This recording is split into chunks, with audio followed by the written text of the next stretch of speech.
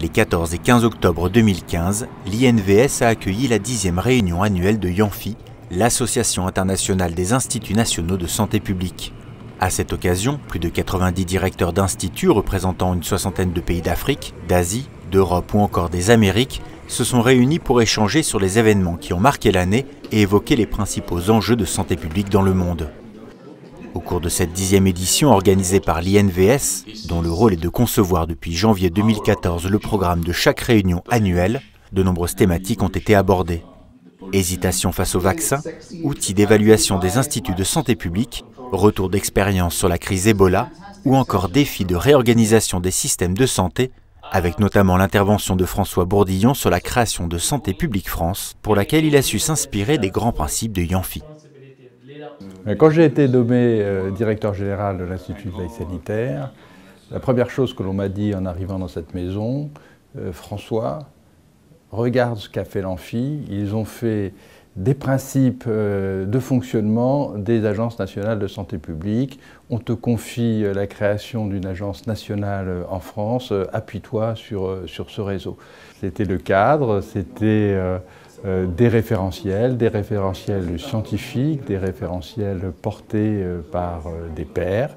Donc c'est des éléments importants sur lesquels nous nous sommes appuyés pour fusionner les trois agences de santé publique en une seule, hein. donc l'Institut de veille sanitaire, l'Institut de prévention de promotion de la santé et, les PRUS.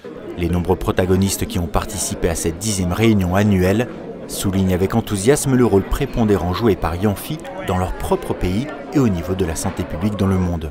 To be part of this community of public health leaders where you where you share these different experiences but you also share solutions and best practices. This has been the beauty of IAMFI. This has been one thing that has really helped our institute grow. I think what is also special about uh, being involved with IAMFI is that you get to participate in building public health at a global level and participate in, in uh, formation of public health frameworks in other countries and, and that really enriches your experience and, and enriches uh, your, uh, your mindset and, and how you see public health in your own country. To see how Yamfi has developed is really amazing.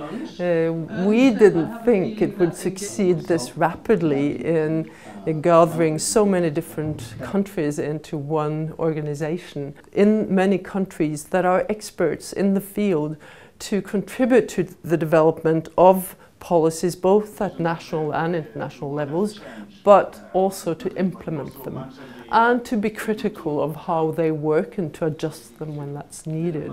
So I think Yamfi is at the very beginning of a very long-term and very potentially very successful collaboration.